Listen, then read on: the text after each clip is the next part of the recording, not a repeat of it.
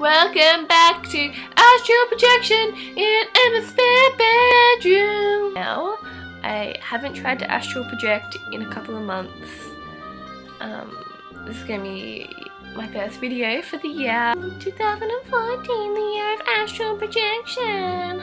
The year of astral projection. The year of astral projection. Um, and it's gonna be. I'm pretty optimistic. Um, although I haven't tried to astral project um, or really thought about dreams too much, too much in a while. I, I'm hopeful. It, we're feeling positive here in my um, family home spare bedroom. Hmm. Reasons that I'm feeling hopeful. Hmm. Let's just go through what I've been doing while I've not been astral projecting. One, gotten a bit into hula hooping and there's this thing you do when you hula hooping so like yeah you're like you're hooping around your waist yeah pretty easy you did that when you were little.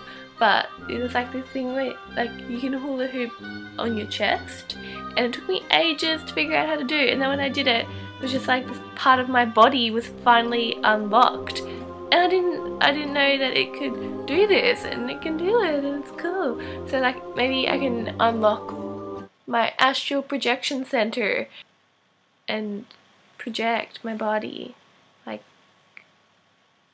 my chest. Second thing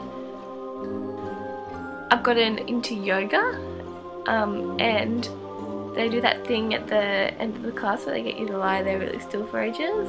And at the start of it I was like oh, into now I'm like ah yes good.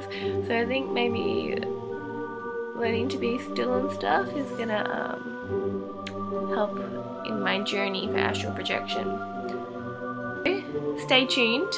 Next video getting the older book out, the old guidebook, and we're gonna gonna rock this. So I've put a link in the um, bottom if you wanna buy the book or whatever. If you wanna join along with me.